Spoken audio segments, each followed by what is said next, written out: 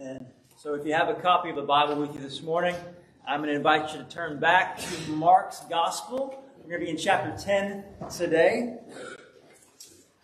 If you want to use the Pew Bibles in the rack in front of you, or if you're sitting in the front row right underneath you, you can turn to page 846, and that will get you to Mark chapter 10. And we're going to dive straight in this morning, beginning in verse 17. Is what Mark writes under the inspiration of the Holy Spirit. And as he, being Jesus, was setting out on his journey, a man ran up and knelt before him and asked him, Good teacher, what must I do to inherit eternal life? And Jesus said to him, Why do you call me good? No one is good except God alone. You know the commandments. Do not murder. Do not commit adultery. Do not steal. Do not bear false witness. Do not defraud. Honor your father and mother. And he said to him, Teacher, all these I have kept from my youth. And Jesus, looking at him, loved him and said to him, You lack one thing. Go Sell all that you have and give to the poor, and you will have treasure in heaven. And come, follow me. Disheartened by the saying, he went away sorrowful, for he had great possessions. And Jesus looked around and said to his disciples, How difficult it will be for those who have wealth to enter the kingdom of God. And the disciples were amazed at his words. But Jesus said to them again, Children, how difficult it is to enter the kingdom of God. It is easier for a camel to go through the eye of a needle than for a rich person to enter the kingdom of God. And they were exceedingly astonished and said to him, Then who can be saved? Jesus looked at them and said, With man, it is impossible but not with God. For all things are possible with God. Peter began to say to him, See, we have left everything and followed you. Jesus said, Truly I say to you, there is no one who has left house, or brothers, or sisters, or mother, or father, or children, or lands, for my sake and for the gospel, who will not receive a hundredfold now in this time houses, and brothers, and sisters, and mothers, and children and lands with persecutions, and in the age to come, eternal life. But many who are first will be last, and the last first. Brothers and sisters, this is the Word of God. Let's go to Lord together in prayer.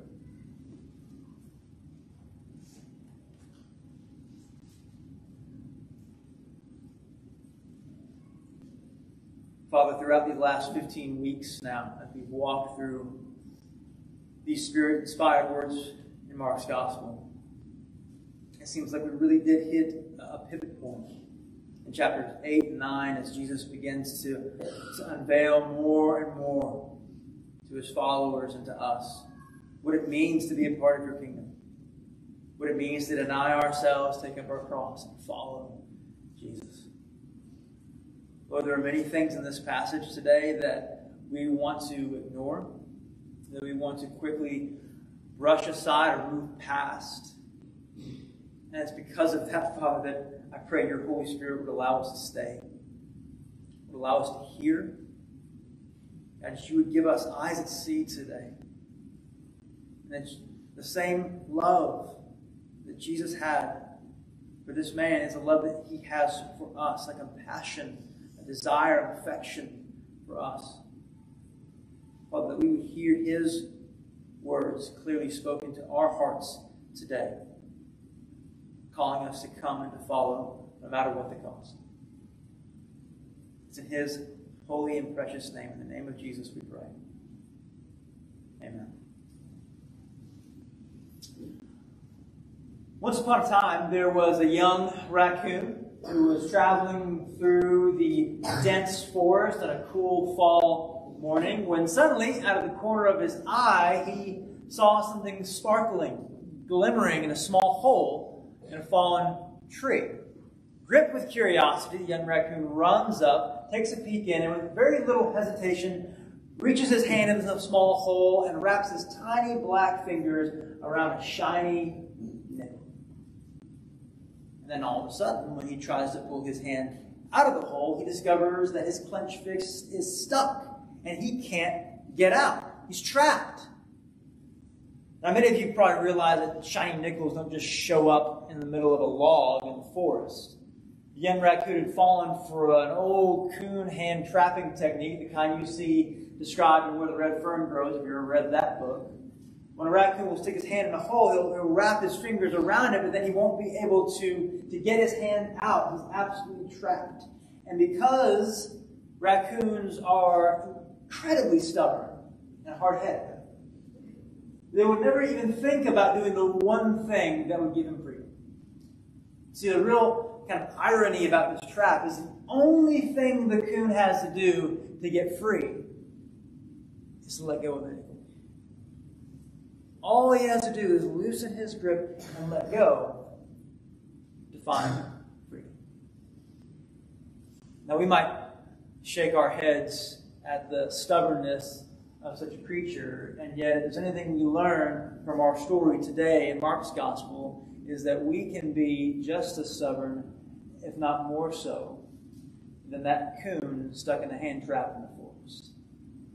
Because Mark's Gospel tells us a story about a, a man rushing up to see Jesus as he's making his way to Jerusalem. He's desperate to see Christ. We can tell that he's desperate because Matthew's Gospel tells us this guy is rich. Luke's version tells us he's a ruler, which means he's probably serving on some important council in the community, and yet he is running up to see Jesus. And in Middle Eastern culture, then and still today, it is completely inappropriate and shameful for a man of status to run in public. Yet he's running up to see Jesus. Not only that, but when he gets there, he falls down at Jesus' feet in reverence and submission and respect and probably out of breath at this point, he says, Good teacher, what must I do to inherit eternal life? Now, the way Jesus responded to that genuine question probably took the man back for a second. Jesus says, Why do you call me good? No one is good except God alone. Now, Jesus isn't denying his goodness with those words, but he is pointing to God as the ultimate source and definition of what is truly good, the measure by which all other goodness has to level up. Jesus goes on and says, You know the commands. You know what the word says. Do not murder. Do not commit adultery. Do not steal. Do not bear false witness. Do not defraud. Honor father and mother. And yet, notice with these words, Jesus didn't say, follow these commands to get to eternal life, but he is beginning a conversation.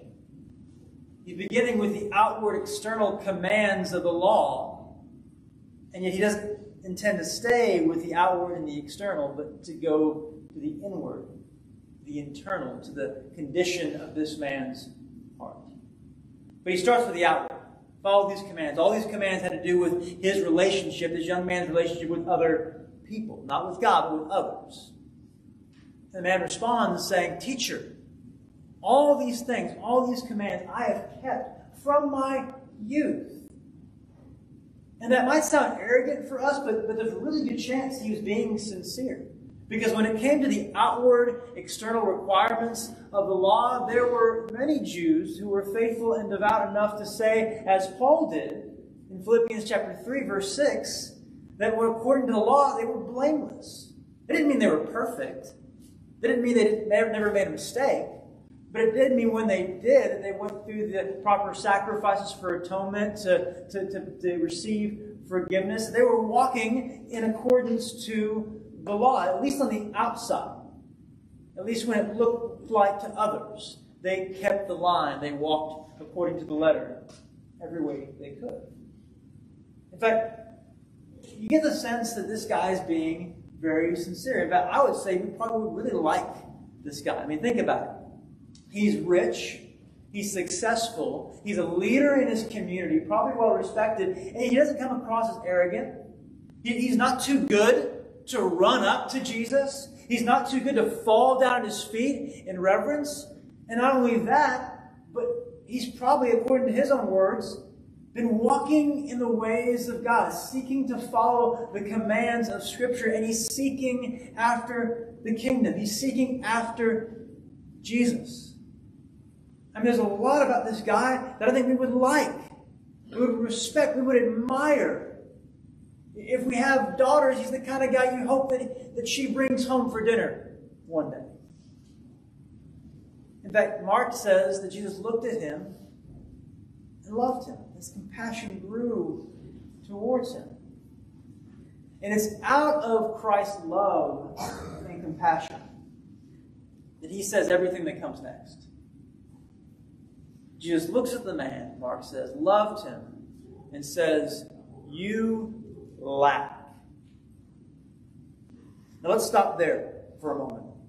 Because with those two words, Christ highlights an essential, a crucial truth of the gospel and the nature of salvation. Again, this guy had everything together. He's successful. He's sincere. He's kingdom seeking. He's a leader in his community. He's probably well respected. And more than that, he's walking according to the commands of God. I mean, outwardly, he's got everything going for him. he's hitting on all cylinders. He's the kind of guy you'd probably nominate to be an elder or a deacon in your church. And yet, for all of his outward success, for all of his outward righteousness, for all of his command keeping and law walking, Jesus can look at him and say, You lack. It's not enough. Folks, if this guy lacks, all of us do. If this guy can walk in this way, with this much success, with this much devote righteousness to the laws of God. And Jesus says, You lack, we all And what does Jesus say that he lacks? You lack one thing. Go, sell all that you have, and give to the poor. And you will have treasure in heaven. And come, follow me. Mark says that the man was disheartened by the saying. Literally, it says his face fell. It's a very unique phrase in the Greek. It actually only occurs one other time in the New Testament, and it used to describe the, cloud, the sky darkening before a storm. Another translation says, gloom, a gloom spread all over his face, and he went away sorrowful, for he had great possessions. You see, while this young ruler walked obedience to the external, the outward commands of the law, with one command, with one request, the one thing that Jesus said, revealed the first degree violation of the first and great command. You shall have no other gods before me. And with one command, Jesus revealed the idol of his heart. The one thing that he lacked was the one thing that he loved more than he loved God. You see, at this moment, Jesus has basically offered a substitute for this rich young ruler, saying, Let go of your money, let go of your possessions, let go of your wealth. Let go of this idol of your heart and come follow me. And understand what true riches in the kingdom of God looks like. Let go of this and grab hold of that. Lay hold of me instead. And the young man said, No. You see, it's, it's important for us to recognize even now that the one thing necessary for this man to inherit eternal life wasn't selling all of his possessions and giving it to the poor. Because honestly, that would be too easy. Because you can live a life of poverty and still have a heart consumed by materialism and greed and love for money. Just like taking a vow of chastity doesn't all of a sudden cure a heart that's filled with lust. In fact, this man, if he had just sold all of his stuff, given it to the poor, and walked away, he would still walk away condemned. No, the thing that Jesus was calling him to, the heart of the matter, was in those last three words Come, follow me. That's a lifetime of total allegiance, complete surrender, and absolute submission to Jesus. Not just a one moment flash in the pan obedience, selling all your stuff and giving away, but no, a lifetime of surrender, of denying yourself, taking up a cross, and following. We saw last week that Jesus says that his disciples have to be willing to cut off and remove whatever is necessary in order to follow him, whether it means slicing off the hand or cutting off the eye or, or taking off the foot, whatever it is that's keeping you from following me completely has to be drastically removed from your life. For this man, it was his wealth. For this man, it was his possessions and his, his material things. It was his money. That was the, the nickel that he had his hand stuck around in the trap that he refused to let go of. If he just let go of that and slipped his hand out, he would have followed Christ to freedom. That was the thing in his heart that was keeping him from that complete surrender, that total submission to Christ and to his kingdom.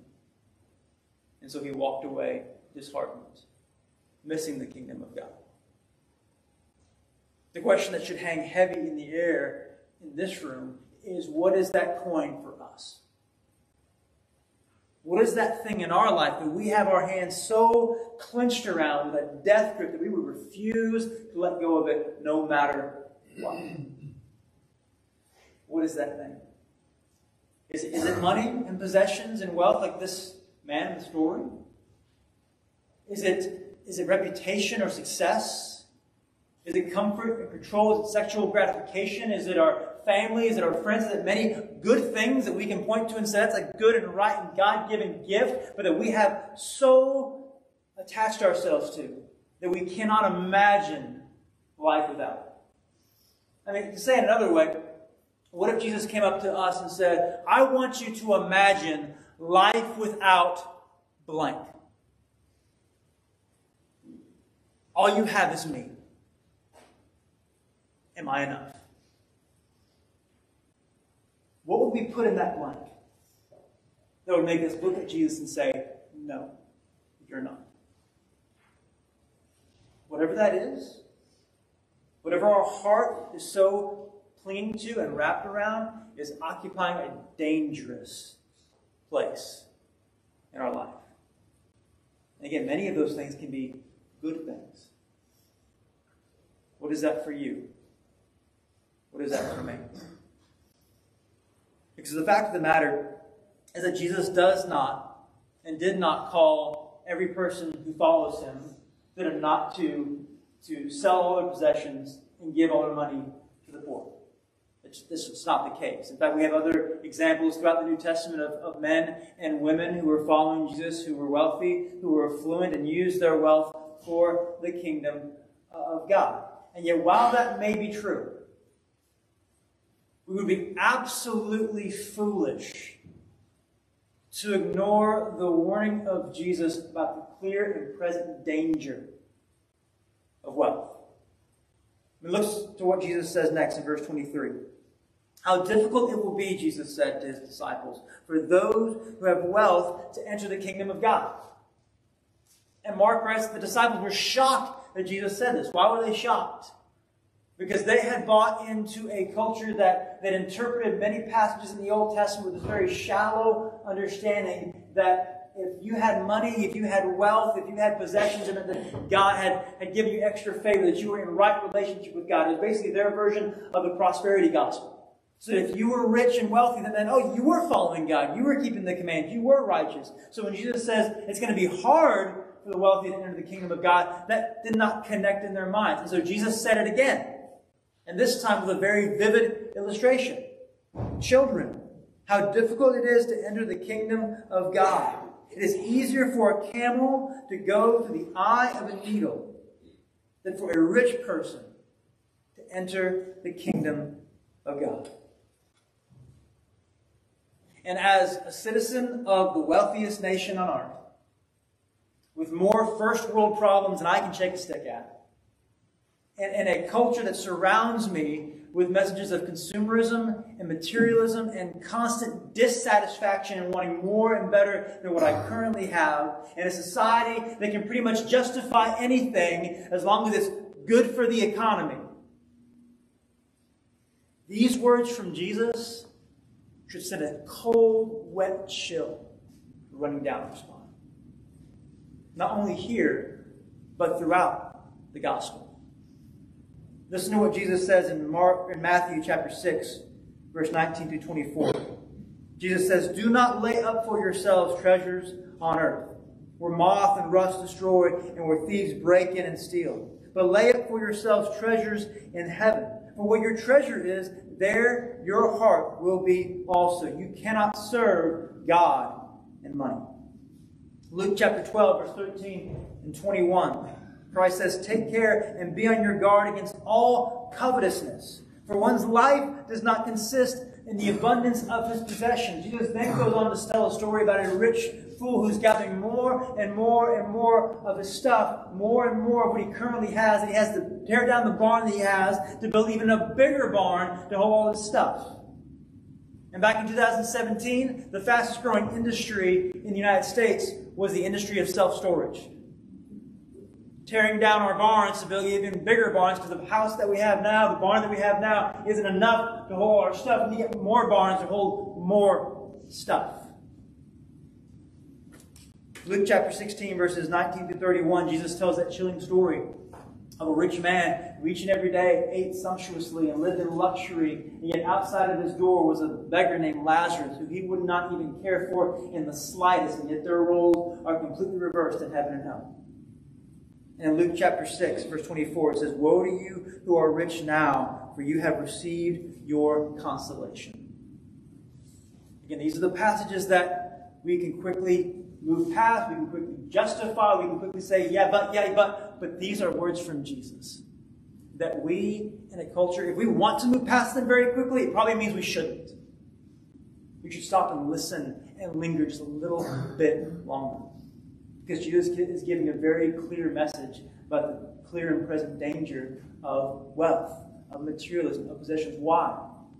Why does Jesus say how difficult it is for those who have wealth to enter the kingdom of God? Because the riches of this world sedate us. They numb us. They entrap us. They feed us the lie that we are self-sufficient. That we are independent. That we have need of nothing not even God. It's for this reason that Jesus said to the lukewarm believers in Laodicea in Revelation chapter 3, verse 17, For you say, I am rich, I have prospered, I need nothing, not realizing that you are wretched, pitiful, poor, blind, and naked. Because a heart that is entrapped by wealth, by possessions, by the things of this world, is often a heart that is numb to the kingdom of God. And so that's the warning that Jesus gives us. How are we to respond? Because again, we know that Jesus does not, or has not, called every single person who follows him to sell everything and give it all to the poor. So, what is that universal call that goes out to all believers when it comes to this important issue? And it is an important issue. The number one subject Jesus talked about in the New Testament was the kingdom of God. Number two was money. This is important to Jesus, it should be important to us. So, what is the universal call? Well, Paul gives us really great insight on this, both challenge and encouragement. In 1 Timothy chapter 6, beginning in verse 6. Paul says, Now there is great gain in godliness with contentment. That idea of being content is a foreign concept for many of us in our culture. Being satisfied with where we have, what we have. For we brought nothing into this world, and we cannot take anything out of this world. If we have food and clothing, with these we should be content. Now, I'll be the first one to stand up and say, I'm not content with just food in my stomach and clothes on my back. I mean, I can talk about this up here and I can read these words and I can have moments of contentment until you take me to Cabela's and then my contentment is gone very quickly.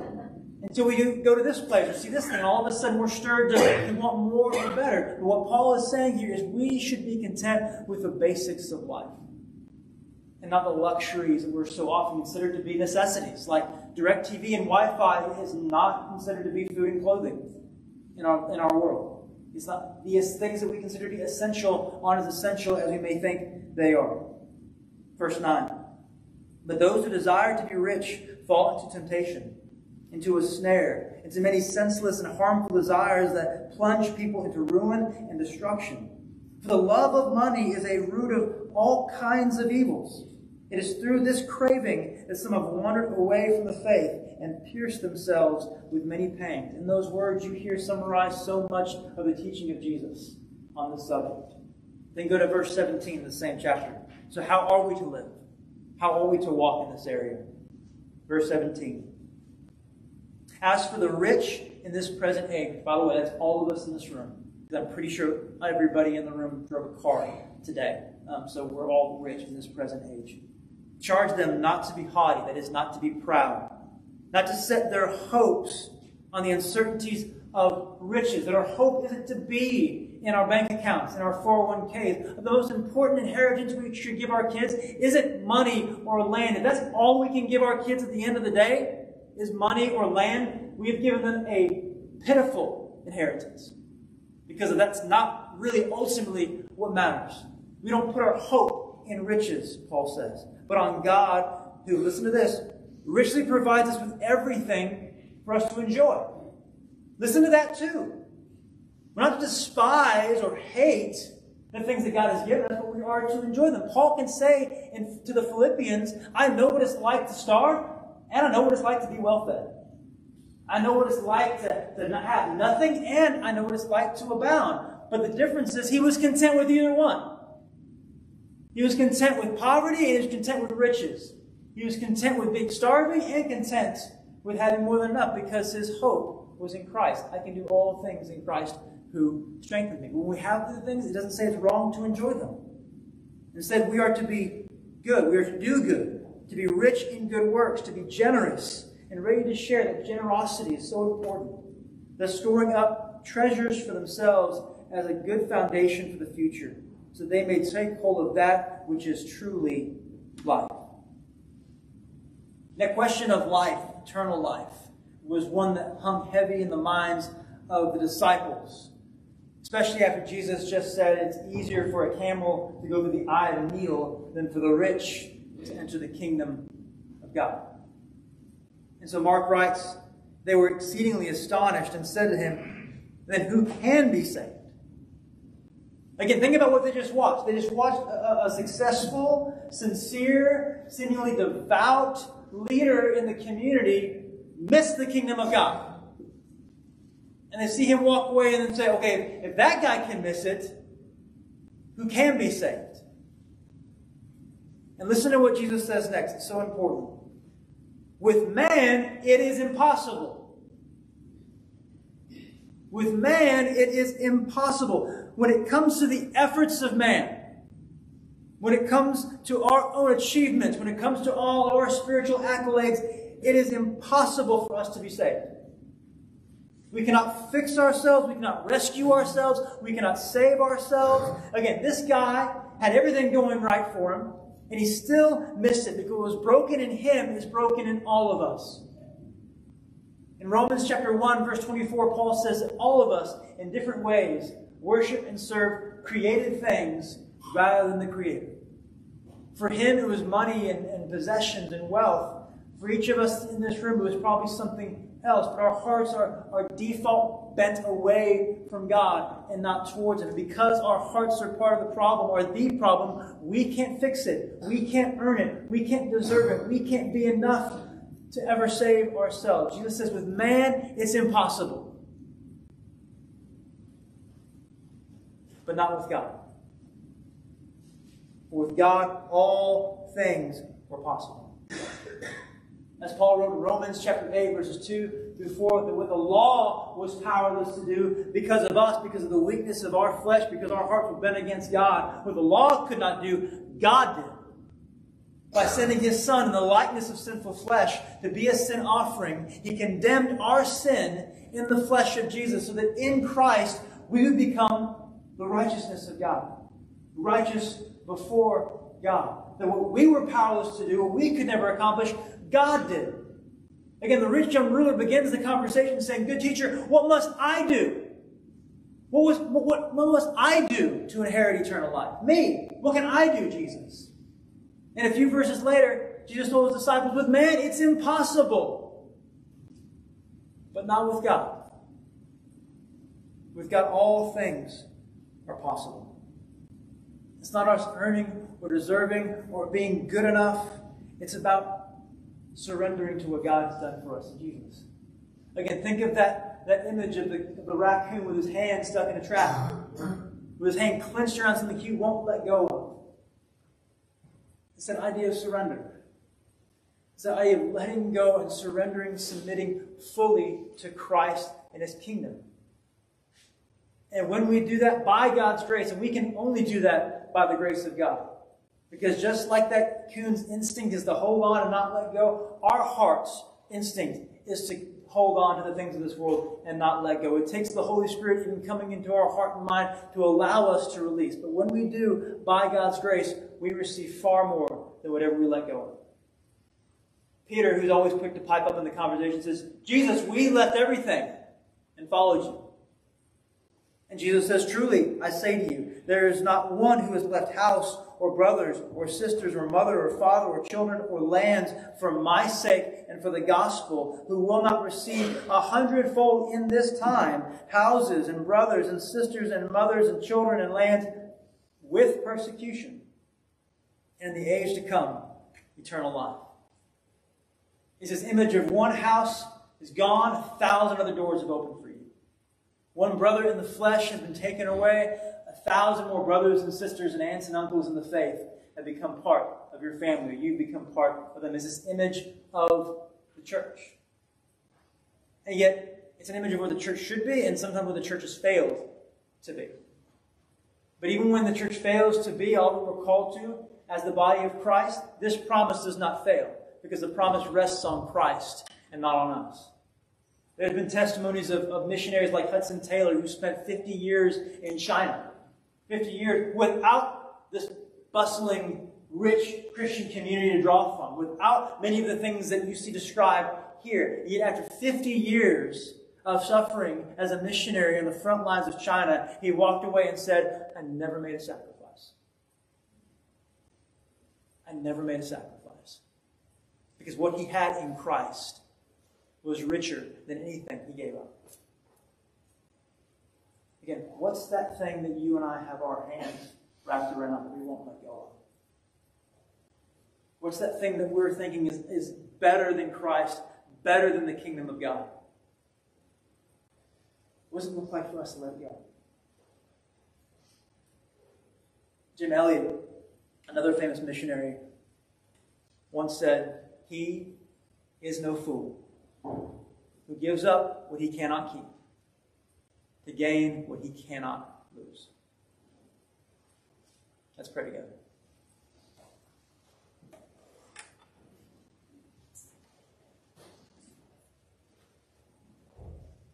Gracious God, these words hit heavy on the hearts of people like me who live in more luxury, more comfort, more affluence, than 95% of the world.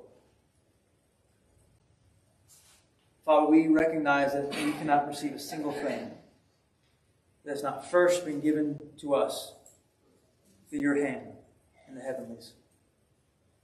And so we should acknowledge that so much of what we have, everything, God, is a gift from you, and yet, Father, we are so prone to love the gift rather than the giver.